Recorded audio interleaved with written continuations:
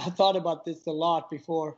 Uh, in the in the 80s, through Reaganomics, we learned about we were just grappling with crack and HIV. You know, Prince did the song "Sign of the Times." You know, he basically talks about 1985 or just like this moment where where we're learning about the crack epidemic, we're learning how to deal with HIV, and it's it's it's tumultuous times. So I've been listening to that a lot. I've actually been listening to a podcast about how he created that album, what was going through in Prince's life, and it's it's it's, it's different times, but it's similar times to this.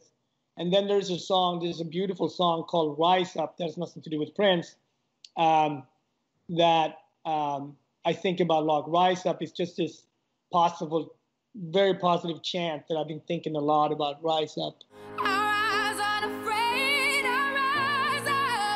Andra Day writes that song, Rise Up, and it's been in my head as I've been thinking about the book. So.